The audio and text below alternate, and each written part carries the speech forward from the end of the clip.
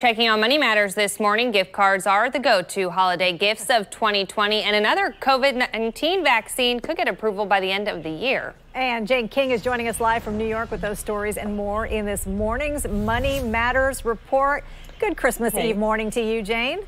A happy Christmas Eve to you too. And we're talking about AstraZeneca's COVID vaccine. So it could be approved next week in the United Kingdom. Now, medical regulators there are expected to take it up in the coming days. If approved, that would make three COVID vaccines on the world market, the other two, of course, being Pfizer and Moderna.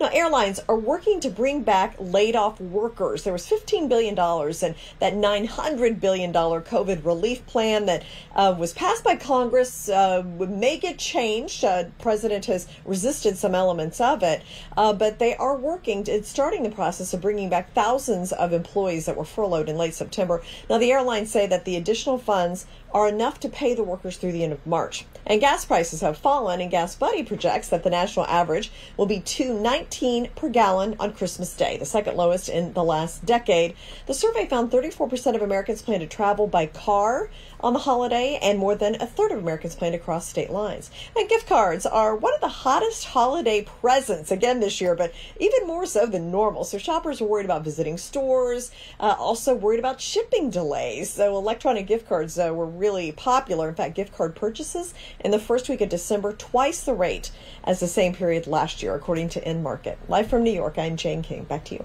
Thanks so much, Jane.